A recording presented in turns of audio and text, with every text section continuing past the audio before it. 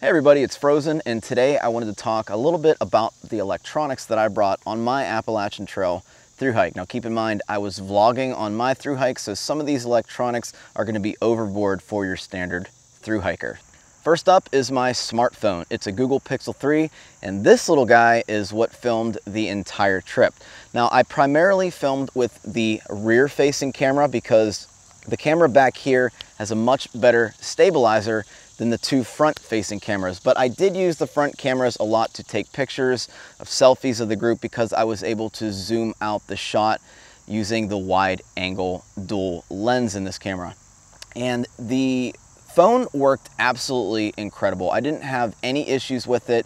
It had been living on the outside of my pack in the shoulder pocket. It had seen rain, it had seen hail, it had seen snow, very cold weather, very hot weather, and it just held up like a beast.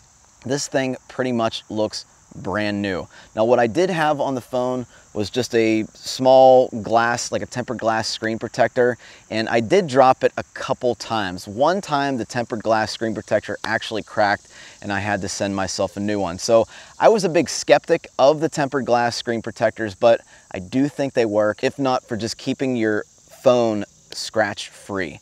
I also had a little case on there with a little tripod that I could pull out and it worked out perfectly fine. For my phone provider, I used Verizon Unlimited, and for the most part, Verizon handled excellent. I really had no complaints about it. There may have been maybe four or five days as we got further north where I didn't have service multiple days in a row, but that was very, very rare more than likely you could just climb the nearest mountain and you were summiting a lot in the northern states where you could at least get a text message or a short call out. It wasn't going to be spectacular quality, but anything from, I'd say Vermont south, you pretty much had full coverage. Now, when I got back home from the AT, I did switch back to Google Fi, which is kind of Google's cellular provider, and it works perfectly fine, and it's much cheaper than Verizon Unlimited. If you're interested, there's more info in the description box below.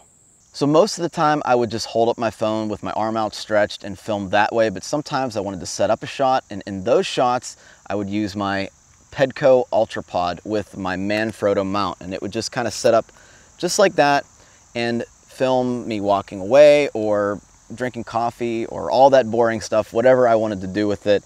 And this also lived on the outside of my pack in a shoulder pocket. So it survived the weather and it still works great. I've had this tripod for years and it's very light, very useful. Now one final piece of gear that did live on the outside of my pack, so it went through a whole bunch of weather, were these Anker Curve Bluetooth headphones. These were great. I used them for editing. I used them for music or really anything I wanted to do to watch movies when I was in town. And I didn't want to disturb anybody, so which is why I picked this up. It's kind of annoying to hear someone playing their music full blast on the trail through their phone or a Bluetooth speaker. So just do yourself a favor and just pick up one of these. They're 25 bucks. They're also in the video description if you want to check the link out. And these held up great. Now, sometimes water would seep into the actual earbuds and it would take maybe a day or two for them to dry out, but I never had these fail on me. These were always just an excellent product and I highly, highly recommend them. I had a really, really nice time listening to these things let's talk about headlamps. So I really, really enjoyed my NiteCore NU25. It's lightweight. It has pretty much every mode that you can think of, including a red, a CRI, and a bright spotlight on it. It charges micro USB and the battery is just incredible on this thing. I use this thing to night hike a few times and it is very water resistant at IPX5 or 6 or something like that and it, it, it just handled perfectly. I never had a problem with this at all. So I highly recommend the NiteCore NU25. There's not many things that can beat this headlamp. Typically when you're through hiking, you're gonna be in town every three to six days because you have to replenish your food supply. It's also a good idea to do laundry and if you need it, stay in a hotel and get some town food and rest and recover. While I was in town, I used this 20,000 milliamp Anker PowerCore Speed PD.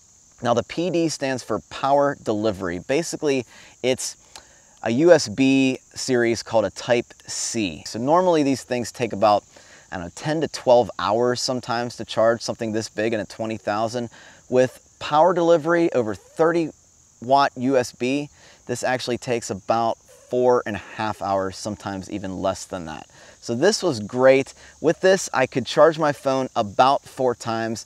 And if I was gonna do it again, I would actually get a bigger battery bank. Why, you might ask? Because I could really only stay out there for four days at a time while I was editing. Now, if you're not editing, then getting even this size is probably overkill. I suggest, you know, something like a, a 10,000 milliamp battery. And this should perfectly, you know, suffice for a through hike that isn't being vlogged. But for me, I was filming about 30 to 40 minutes a day. Then I was editing, which took about 20 to 30 minutes every night. And then, you know, every other night I was coming out and having to export the video, which took an immense amount of battery power, not even counting the amount of battery power it took to upload on the trail. So I preferred uploading most of the time in town. Now, like I said, we're gonna get into a how I filmed, how I edited, and how I uploaded video in the next couple weeks, so be sure to check that out. But this is the battery bank that I used. This worked. In the 100 mile wilderness, I had to borrow a Trail Angel named Fresh Grounds battery bank just to survive the six days I was out there. Because like I said, this only lasted about four and a half to four days. But the, most of the trail, this is pretty much what I needed. As far as cables, I brought three. I brought a USB to micro USB, so your standard cable.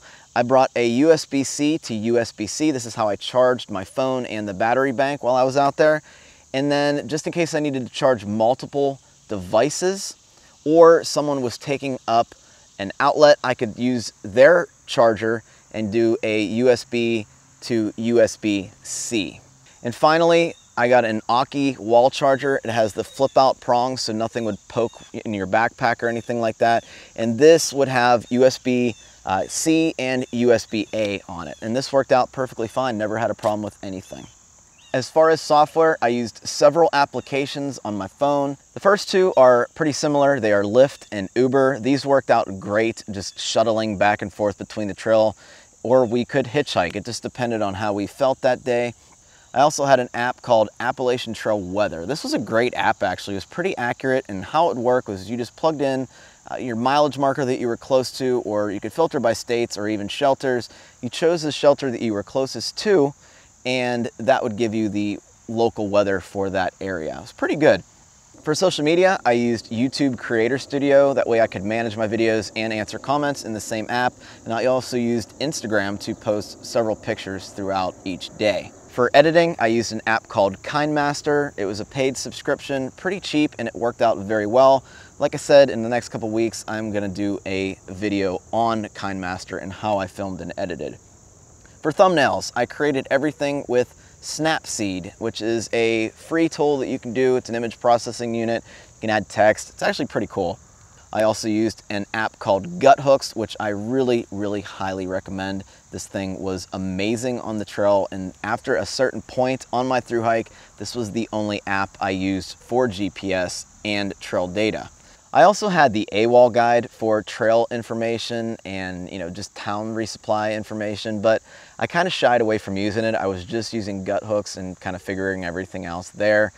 I still recommend through hikers do purchase both the AWOL guide and the Guthook app for information on their through hike.